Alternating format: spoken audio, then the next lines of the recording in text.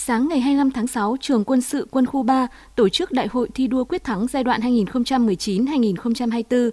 Về dự có Thiếu tướng Bùi Công Chức, Phó Chính ủy Quân khu 3, ở thành phố có đồng chí Nguyễn Văn Kiên, Phó Bí thư Thành ủy, Chủ tịch Ủy ban nhân dân thành phố cùng lãnh đạo một số phòng ban liên quan của thành phố. Trong 5 năm qua, phong trào thi đua quyết thắng đã góp phần nâng cao chất lượng huấn luyện, sẵn sàng chiến đấu, giáo dục và đào tạo, nghiên cứu khoa học, sáng kiến, cải tiến mô hình học cụ của trường quân sự quân khu 3. Trường kết hợp chặt chẽ giữa huấn luyện với rèn luyện thể lực, quân số huấn luyện đạt 100%, kết quả huấn luyện hàng năm đều đạt khá giỏi, duy trì thực hiện nghiêm các chế độ quy định về sẵn sàng chiến đấu, sẵn sàng lực lượng, vũ khí, trang bị, phương tiện, xử lý tốt các tình huống, không để bị động bất ngờ – trường đã tổ chức hàng chục hội thi, hội thao trên tất cả các nội dung công tác như viết sáng kiến cải tiến giảng dạy học, làm các mô hình học cụ với 186 đề tài sáng kiến, sản phẩm dự thi được quân khu và Bộ Quốc phòng ghi nhận. Đánh giá là đơn vị xuất sắc, nhiều sản phẩm có giá trị ứng dụng vào thực tiễn, góp phần tích cực nâng cao chất lượng giáo dục đào tạo.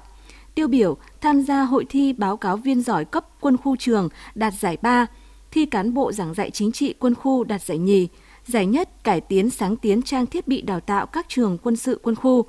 Bên cạnh làm tốt nhiệm vụ chuyên môn, trường quân sự quân khu 3 còn tích cực tham gia hoạt động an sinh xã hội trên địa bàn thành phố, huy động 6.000 ngày công giúp các địa phương làm đường giao thông, xây mới sửa chữa canh mương, khuôn viên nhà văn hóa, tặng nhiều phần quà vật dụng cho hộ khó khăn ở một số địa phương trên địa bàn.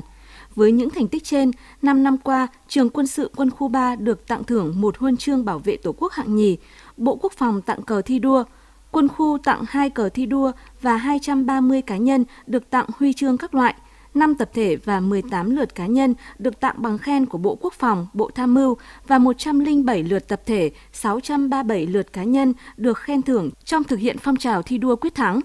Thời gian tới, Trường Quân sự Quân khu 3 tiếp tục đổi mới, nâng cao chất lượng công tác giáo dục chính trị, phổ biến pháp luật cho các đối tượng, triển khai thực hiện tốt nhiệm vụ huấn luyện, sẵn sàng chiến đấu, giáo dục và đào tạo các đối tượng học viên theo chỉ tiêu được giao. Về chất lượng đào tạo, có 100% học viên đạt yêu cầu, trong đó tỷ lệ khá giỏi từ 80% trở lên, bảo đảm tốt công tác hậu cần thường xuyên, hậu cần sẵn sàng chiến đấu và trong thực hiện các nhiệm vụ, đồng thời tích cực tham gia các hoạt động xóa đói giảm nghèo, chăm sóc sức khỏe nhân dân, bảo vệ môi trường, tuyên truyền phòng chống dịch bệnh, đấu tranh phòng chống tệ nạn xã hội, góp phần xây dựng địa bàn an toàn.